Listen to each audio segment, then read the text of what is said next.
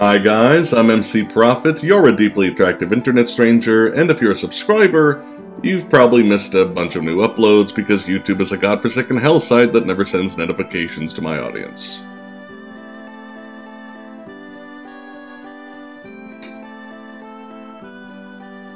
Oh, and also Breath of Fire 2 is pretty good.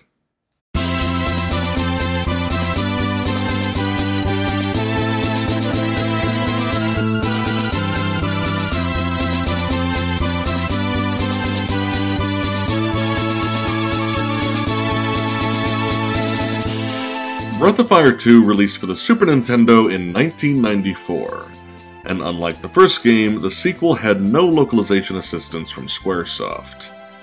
And oh, sweet Christ, does it show. But we'll get to that in a bit. The game has always had a bit of a mixed reception.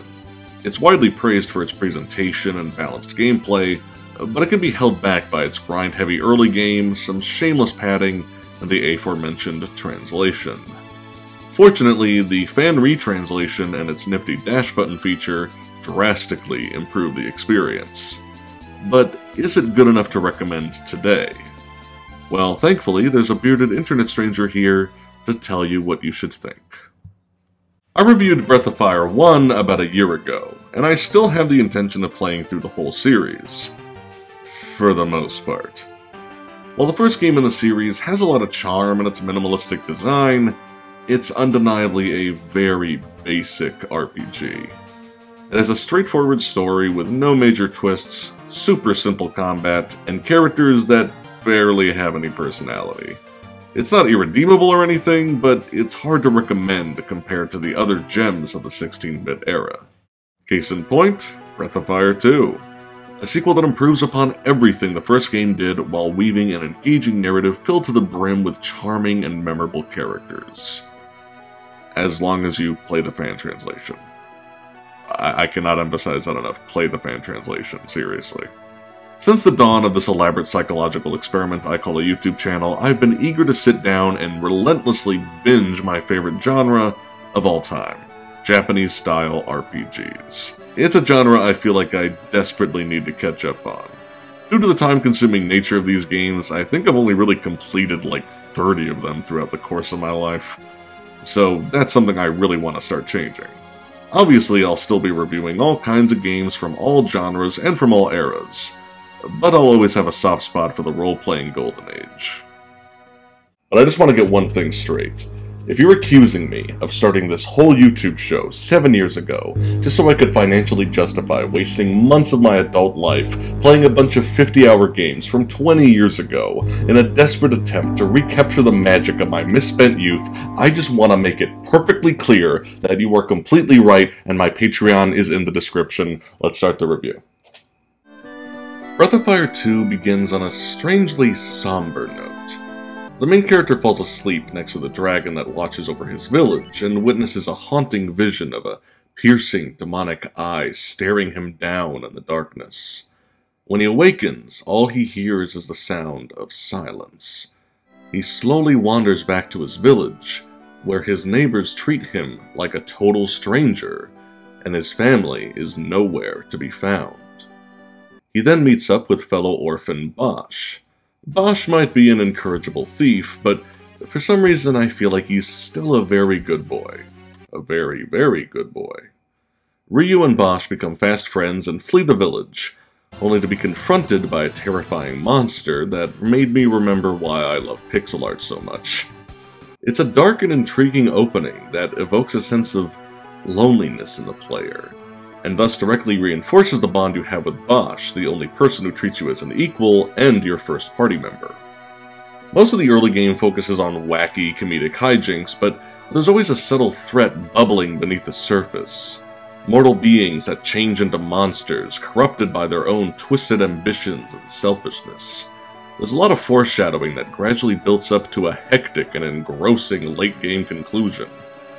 Again, as long as you play with the retranslation patch.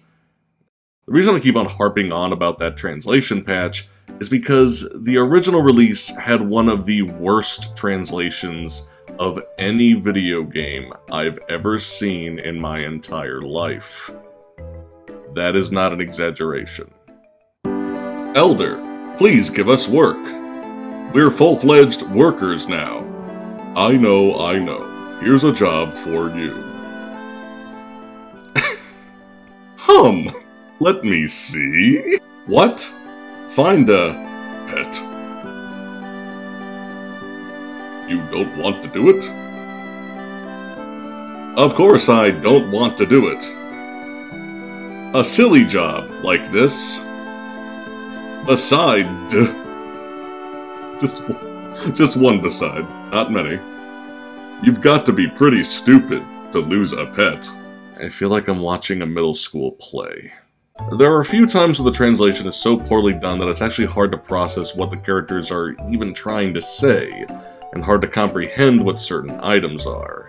I will admit that there's a certain so bad it's good kind of charm to the how bad this translation is. The lack of punctuation makes it seem like everyone is just texting each other in dialogue scenes. And the items... oh boy. The wooden fishing rod became tree pole. Bowie knife became boy dagger, or I'm sorry, boy doctor. Didn't mean to disrespect your title, sir. And the crossbow Okay, this one is hilarious. You see, cross is synonymous with X, which is Japanese shorthand for wrong or untrue. Hence, crossbow was translated into false bow. you can't make this shit up. Whoever handled the translation didn't take so much as a cursory glance at the script or even the core interface. I cannot stress enough how much you shouldn't play this version.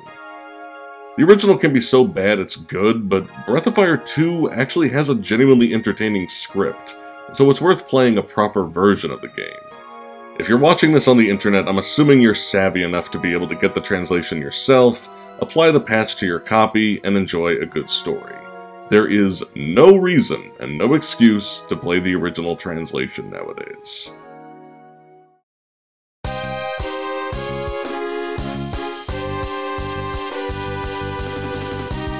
Combat in Breath of Fire is as traditional as it gets. You manage HP, AP, prioritize targets to minimize the oncoming damage, and carefully prepare before embarking on dungeon crawls. Standard stuff, and it honestly does very little to change the formula until you get later on in the game. If you hate traditional turn-based RPGs... First of all, how did you get this far into the video? It's a voice, isn't it? It's always the voice. Anyway, if you hate that old school style, I doubt this battle system is going to change your mind. But if you're looking for a traditional RPG with just a bit more challenge than a contemporary Final Fantasy game, this might just be the game for you. It's not too hard, but it certainly punishes you for not paying attention, especially during boss fights, which get really creative. There's one boss that only deals physical damage by possessing a random party member and forcing them to attack their friends. He'll do that for 3 to 4 turns, and then use a powerful magic spell that attacks the whole team. But there's not a completely consistent pattern to it, so it really keeps you on edge and constantly trying to balance out healing with damage dealing.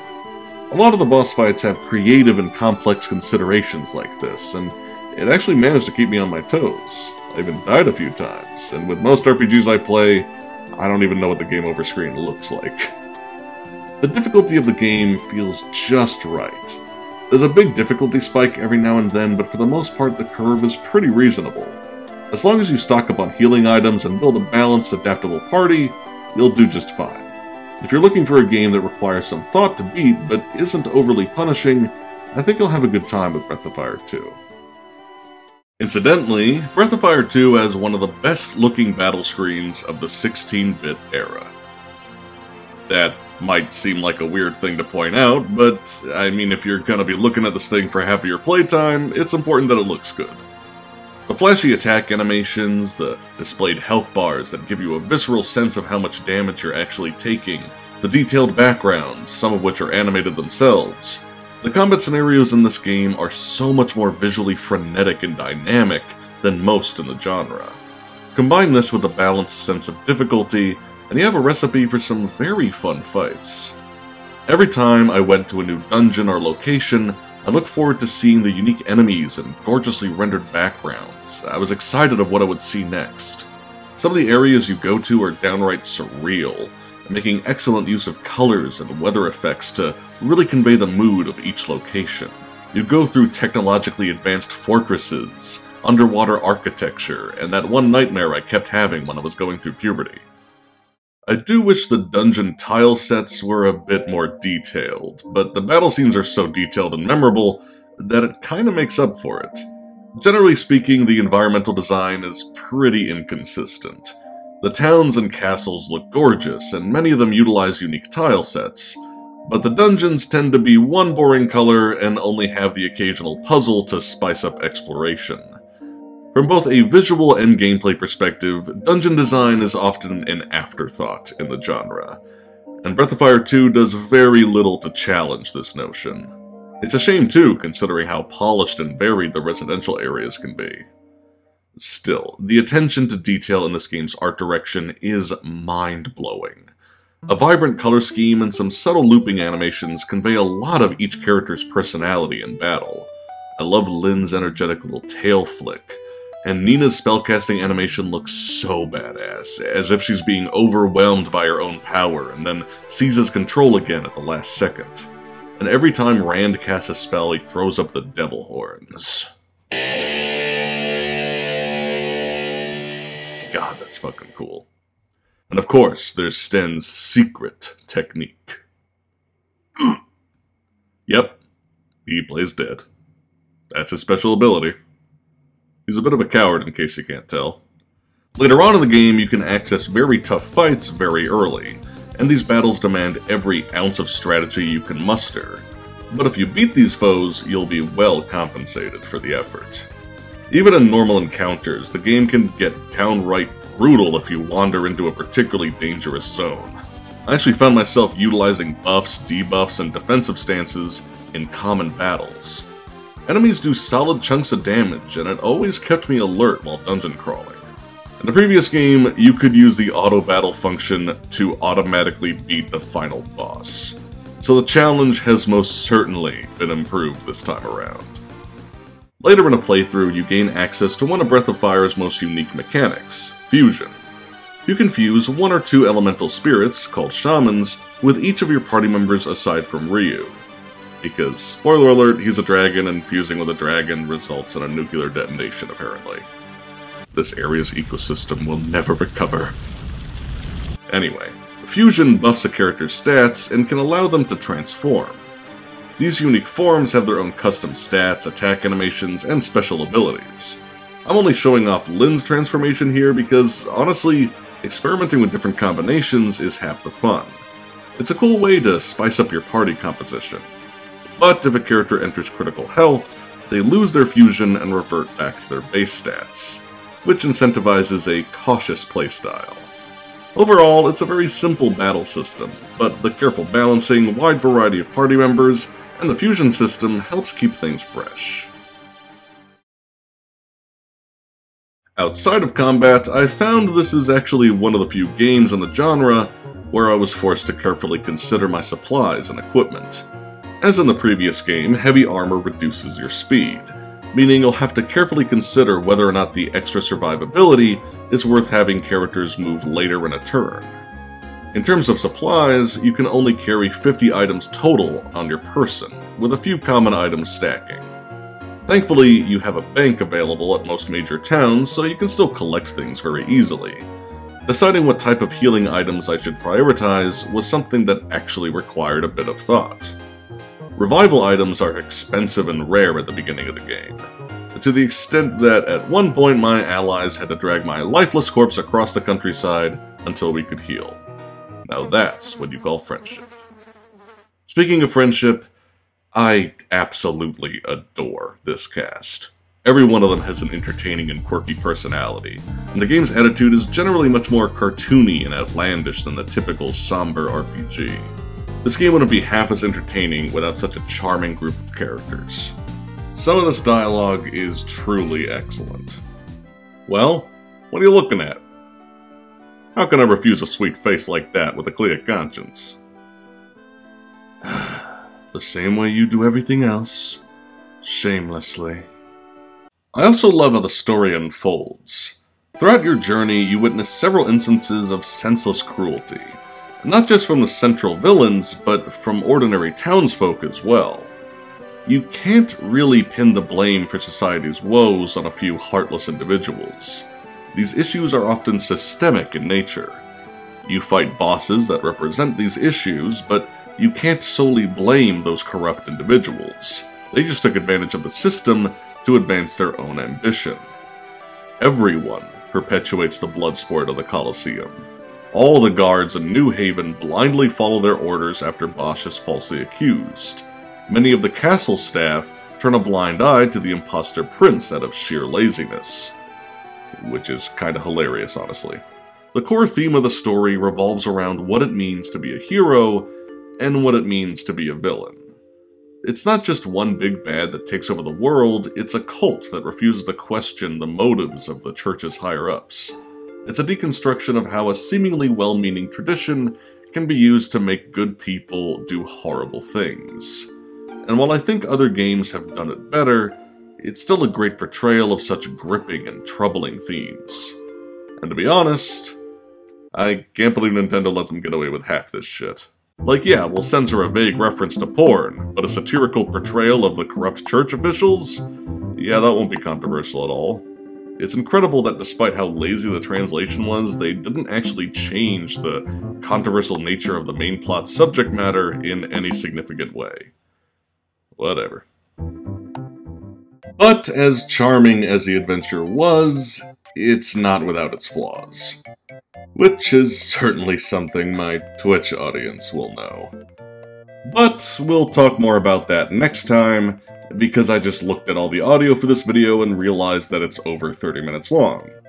And quite frankly, uh, fuck that noise. Uh, yeah, I'm splitting this up into two parts. Breath of Fire is a super complex, underappreciated series that deserves an in-depth critique. So rather than make any cuts to this massive script, I'm just going to reorganize the review into two separate videos.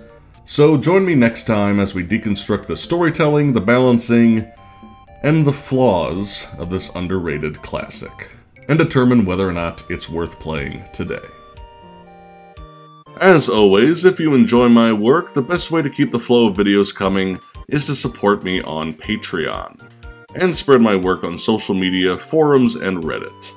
And also, enable notifications and just check on the channel every now and then so you don't miss new videos, I guess. I don't know. Uh, YouTube is a bad website. Anyway, the patrons and my Twitch supporters are the only way this show makes any money, so without them, I'd probably be dead. Any support is extremely appreciated, and if the show has more consistent income and more consistent viewership, I can continue to grow and improve my production value. Oh, and if you're hungry for some more RPG analysis, go check out my buddy Styles' reviews. A link to one of his recent videos will be on the end slate.